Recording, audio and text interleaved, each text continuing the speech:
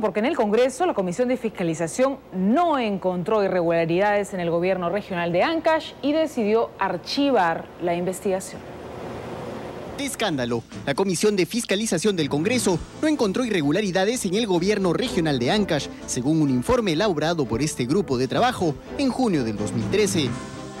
El extenso documento de más de 100 páginas solo recomienda a la Contraloría seguir con sus acciones de control, pero no encuentra delito alguno en funcionarios, menos en el presidente regional César Álvarez. La parlamentaria Rosa Mavila aseguró que con solo leer el documento se evidencian varias irregularidades que no fueron consideradas en el informe final que fue archivado por la Comisión de Fiscalización. Para el congresista de Perú Posible, José León, la intención de debatir un informe ya archivado en el Congreso tenía la intención de bloquear las investigaciones que la Comisión Investigadora de la región Ancash acaba de iniciar. El expresidente de la Comisión de Fiscalización, Gustavo Rondón, justificó el archivamiento de la investigación y aseguró que el hecho de que se vea en el Pleno no invalida las actuales investigaciones en curso.